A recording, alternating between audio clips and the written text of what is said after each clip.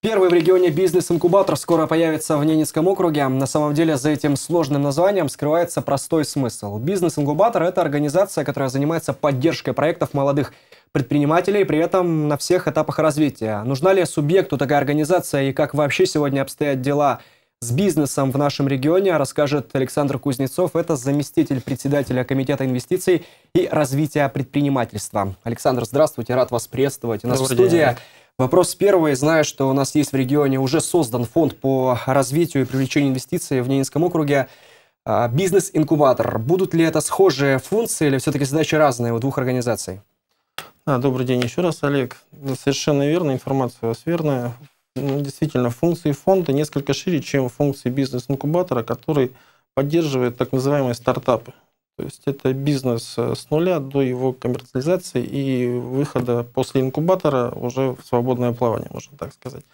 У фонда функции предусматривают собой, кроме поддержки начинающих предпринимателей, также их финансовую поддержку путем микрофинансирования и предоставления гарантий при получении кредитов э, в банковских структурах. Этим фонд займется несколько позже.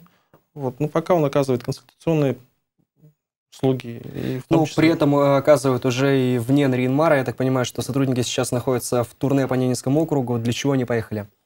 Ну, первая задача – это, конечно, довести до предпринимателя на селе то, что появился такой объект инфраструктурной поддержки предпринимателя. И второе – это узнать о проблемах этих предпринимателей. То есть ну, а вообще часто ли обращаются с сельских населенных пунктов вот именно в фонд? Да, достаточно часто. Наверное, в процентном соотношении это где-то 50 на 50. При этом они а, также интересуются различными вопросами, связанными с предпринимательством. Да, в частности, ну, в основном это, конечно, меры поддержки. Ну что ж, еще знаю, что а, вот у нас в регионе завершается работа по внедрению так называемого стандарта. Что это такое, что вообще подразумевает собой?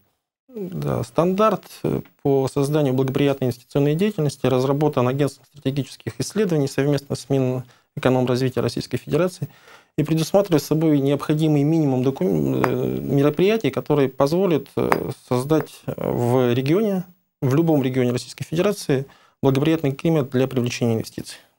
И у нас уже 14 пунктов из 15 выполнены. Да, это выполнены. говорит о том, что у нас, в принципе, уже благоприятная...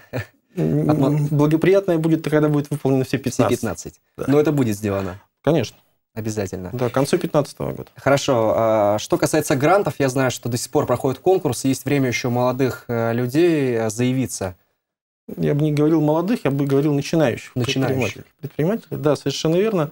До 22 числа Департамент финансов, экономики и имущества принимают заявки от начинающих предпринимателей, предпринимателей на получение грантов, а также заявления на возмещение затрат, связанных с, с предпринимательской деятельностью, ну, в частности, э, компенсация расходов по уплате лизингового платежа.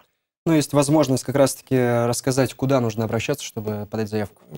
По всем вопросам можно обращаться непосредственно в фонд поддержки предпринимательства и либо в комитет инвестиций и развития предпринимательства. Спасибо. Телефоны на сайте. Спасибо, Александр, за